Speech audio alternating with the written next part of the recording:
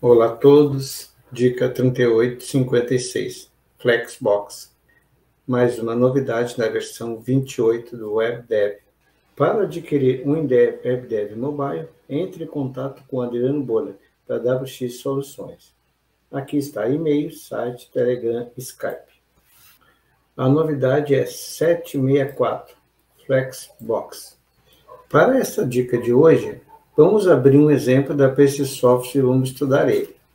Eu entrei aqui em Open Exemplos e vou escolher www Flexbox.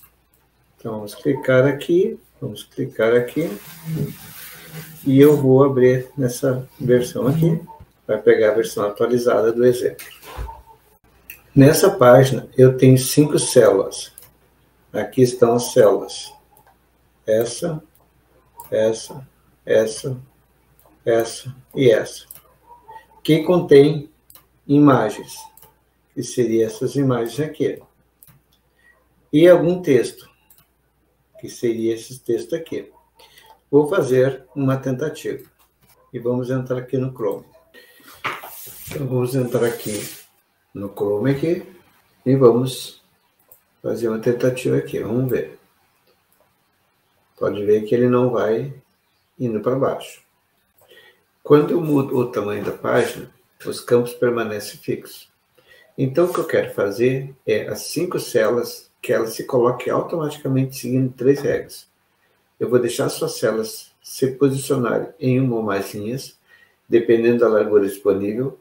Eu quero que todas as células permaneçam justificadas e, finalmente, não quero que as células mudem de tamanho. Eu vou mostrar como fazer isso. Para começar, vamos mover essa célula para o lado. Para não ficar muito complicado, eu vou vir aqui no meu display, tela, vamos botar aqui 75%, e vamos pegar essas células aqui, e vou mover para o lado.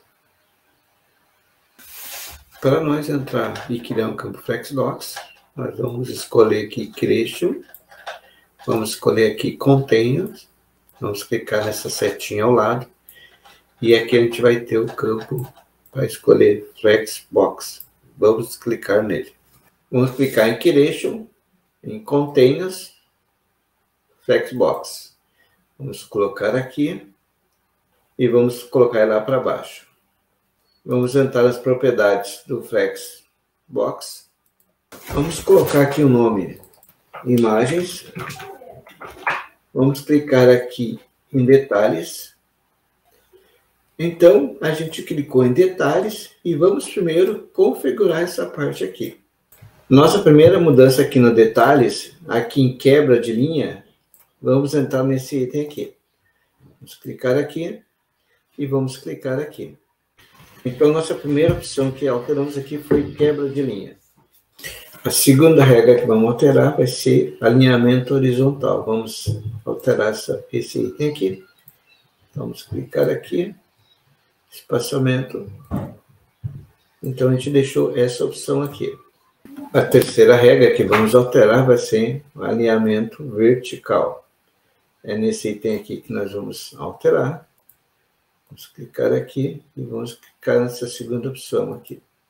Então, alinhamento vertical ficou nessa opção aqui. Eu vou colocar agora um espaço entre as linhas. Vamos colocar aqui.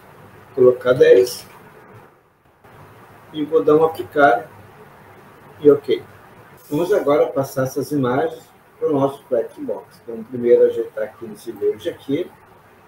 Vamos para o próximo. E vamos para o terceiro. Vamos para esse aqui e vamos para esse. Vamos agora ancorar ao nosso Flexbox. Dentro do nosso Flexbox aqui, botão direito, aqui já Flex Imagem, vamos ancorar. Vamos escolher esse aqui e esse aqui. Então vamos marcar aqui, marcar aqui e vamos dar OK. Estou aqui com minha página aqui, vamos fazer um teste aqui. Ele está totalmente né, ancorado nas páginas. Vamos diminuir aqui. E vamos ver o seguinte, ó. Eu vou pegar aqui e vou diminuindo, ó. Muito legal, pessoal. Beleza? Funcional. Nessa questão aqui da largura aqui, vamos clicar aqui no nosso flex anchor aqui.